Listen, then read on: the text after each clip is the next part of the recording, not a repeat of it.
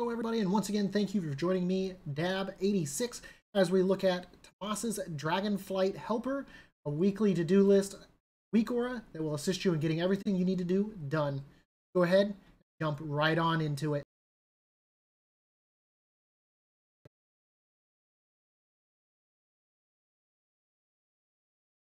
And before we begin, make sure to hit that uh, subscribe, leave a like, comment, and of course, ring the bell for notifications so you can see when I put out any new content. And come follow me at Twitch at the underscore dab 86. So starting out with Tomas's Dragonflight Helper, there will be a link down in the description. So make sure to go there and get this weak aura.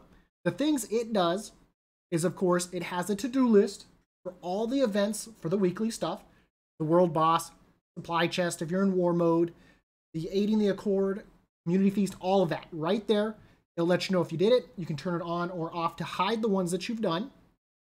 Of course, it also has reputations in there, so it'll let you know where you are without having to click your Dragon Isle summary. It also gives you timers for both the feast and the siege, which are amazing because if you're like me, after about the first week, the horns stopped appearing on my map, so I wasn't able to tell accurately when those events would be happening. And if you're a player that has less time on your hands, knowing when an event could start is a great help to you. And of course, it also tracks the rare spawns. It will highlight the ones in green for the zone that you're in. And once again, they drop off the list as you complete them. It'll also track the treat, uh, the reputation things that you can get from inscriptionists, the treatises, and whether it's blacksmithing, mining, leatherworking, skinning, all that. It tracks all of that across your toons. That way you can tell which ones you need to do uh, when you're logged onto that character. And the also, the good part of this is it allows you to actively track the storms with the zones they're in and which rare spawns you still need to kill for those events with the quest items that drop from those and if you've turned them in for the week.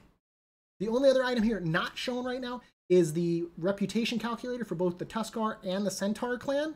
I don't have it turned on because I'm not calculating anything, but it allows you to calculate how many more turn-ins you'd need to get to a certain rep level. Make sure, once again, go down in the description, go get this weak aura, make your week that much easier and smoother.